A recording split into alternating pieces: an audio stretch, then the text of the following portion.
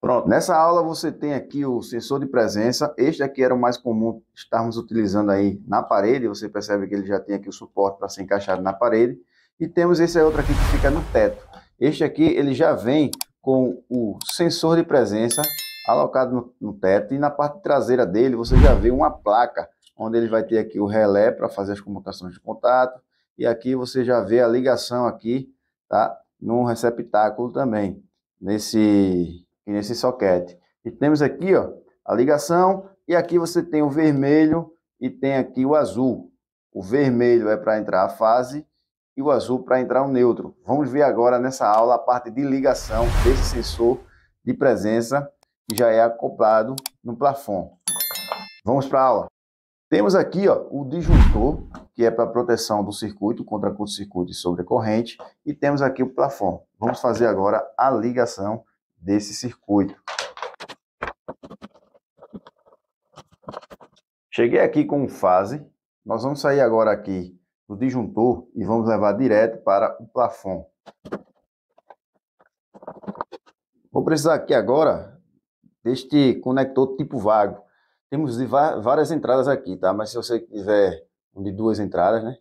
Uma entrada e uma saída, né? já ajuda. Então não precisaria ter tantas saídas dessa forma aqui. Mas vamos colocar aqui, ó, uma, e vamos pegar aqui o plafond na parte de trás. Esse contato aqui, vermelho, esse fio vermelho, vamos conectar, feito aqui o condutor fase. Vamos pegar aqui outro cabo neutro e vamos colocar no conector e vamos conectar aqui também o condutor neutro.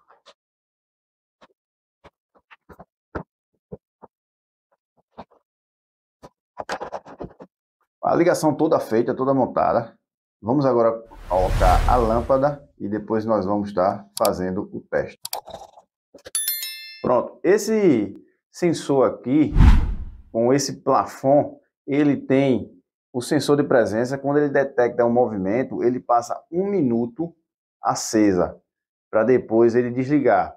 Caso você queira que passe quatro minutos, você tem que vir aqui na parte de trás dele, pegar esse cabo aqui amarelo e cortar ele. Você percebe que tem um jumper aqui, ó, tem um jumper aqui no JP2.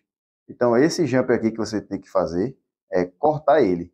Você cortando ele, ao invés de ele passar um minuto com a lâmpada acesa, ele vai passar quatro minutos, tá? Então, se quer aumentar o tempo dele, corta esse cabo aqui amarelo aqui, ó, tá? Corta o jumper.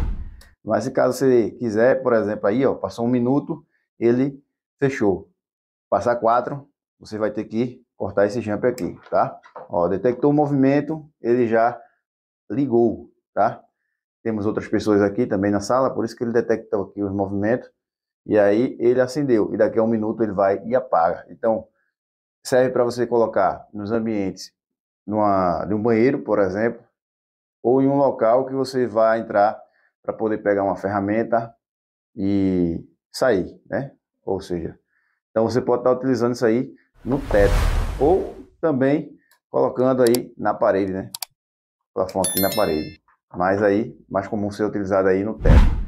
Qualquer dúvida, deixe nos comentários, curta esse vídeo, comenta e compartilha, tá? Eu sou o professor Douglas Amorim aqui do Universo da Elétrica.